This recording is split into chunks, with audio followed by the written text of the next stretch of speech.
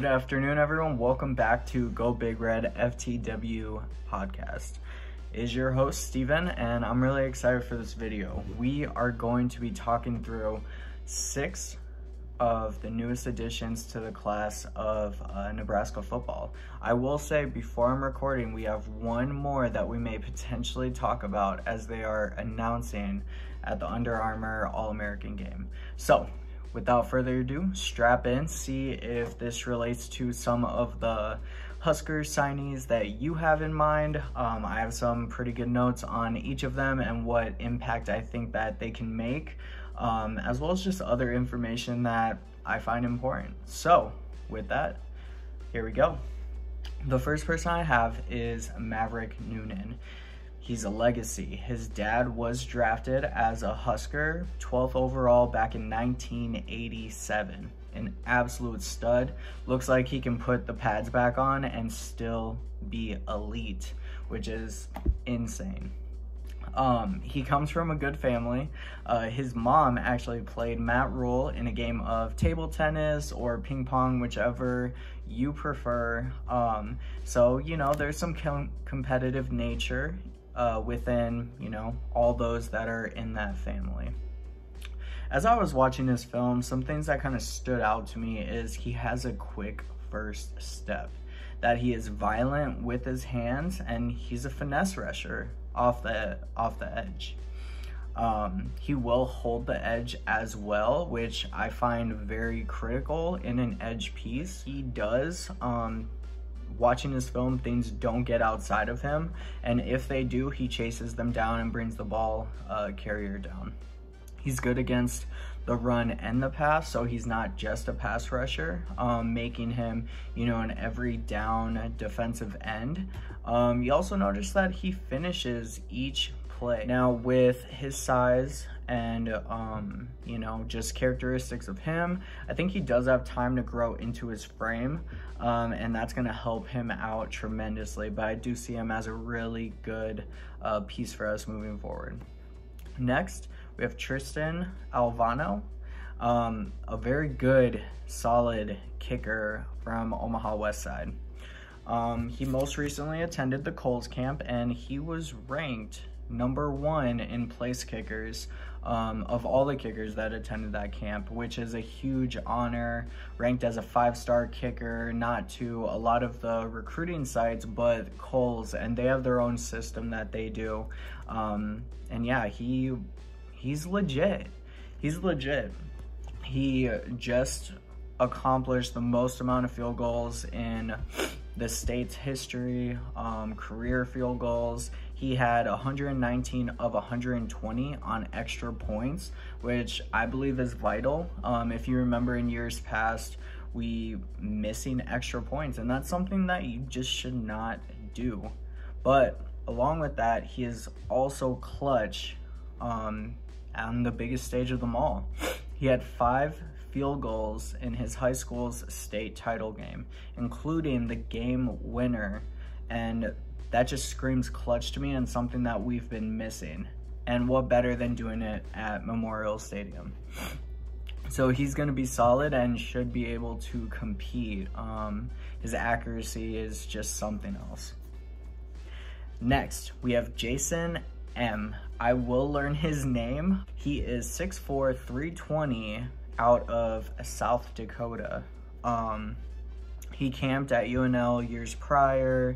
Um, he is a huge kid with a lot of athleticism for that size, which I could definitely appreciate because, you know, sometimes when you get to that size, you can't move as well. And he's someone that does at, I'd say, an elite level at the high school level. So if he can maintain some of that and still build on his strength, I think he's going to be an absolute beast for years to come. You can expect him on the old line, um, based as a guard. Um, he can be flexible in positions. I wouldn't be surprised if maybe next year after another transfer we had um, in Ben Scott after he graduates, I wouldn't be surprised if he switches to center because the way he is able to be a pulling guard, I think he's going to dominate, um, especially in the running game. Um, passing, I think he'll have time to grow, um, but pulling, I think, yeah, he is, he's going to be elite. Love his size and that athleticism that I talked about. He's going to be good.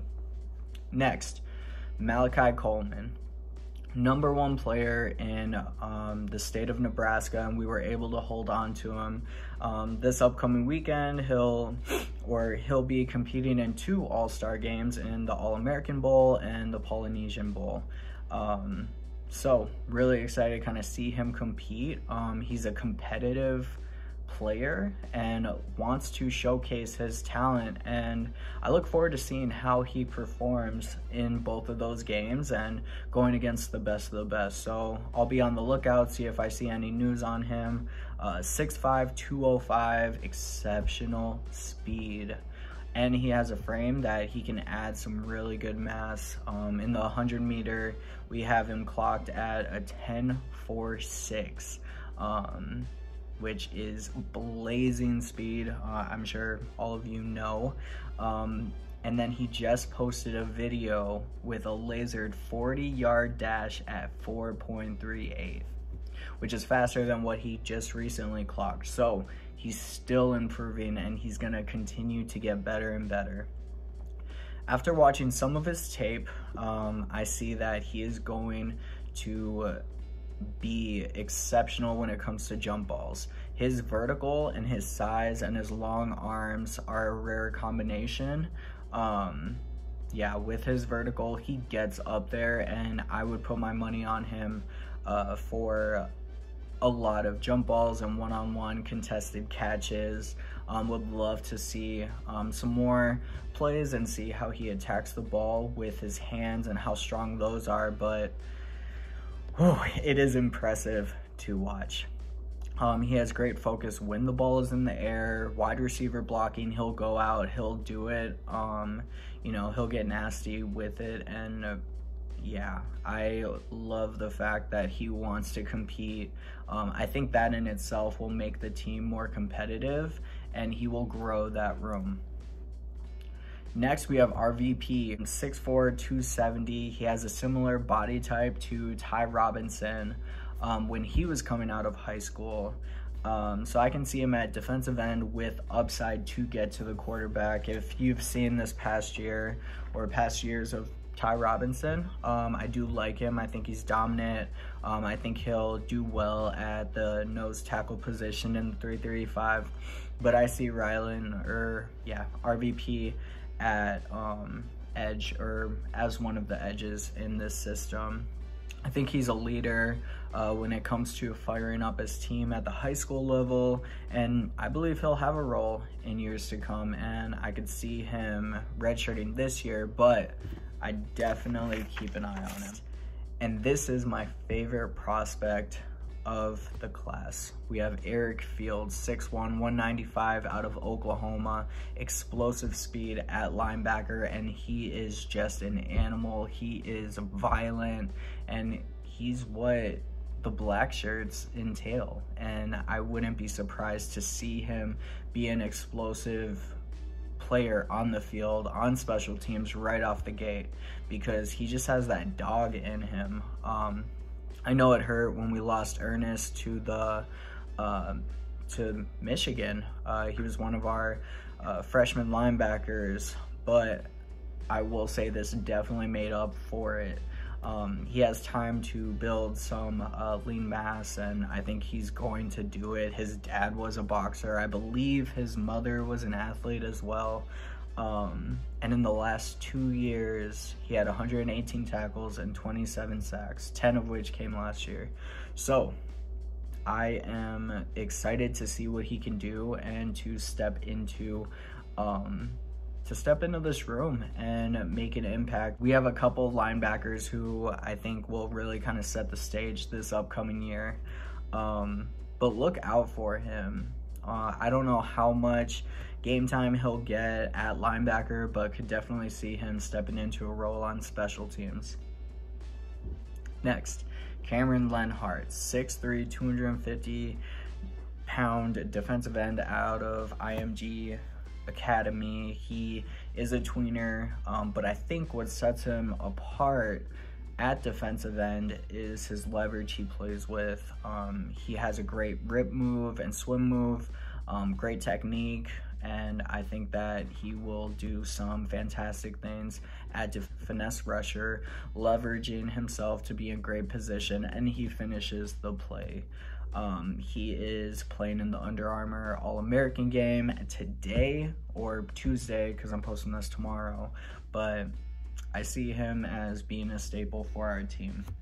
That is a list of players that stand out to me in this recruiting class. If anyone else stands out to you, feel free to leave it in the comments and share with me who I should be on the lookout, whose film I should reevaluate and see like, hey, they're going to be a dog. They're going to be a focal point of this team in years to come. I'd absolutely love that. Thank you all so much. Leave a like if you haven't, subscribe if you haven't for more great content when it comes to Husker football. With that, I appreciate you and I hope you have a great rest of your day. Thank you. We'll see you next time. Bye.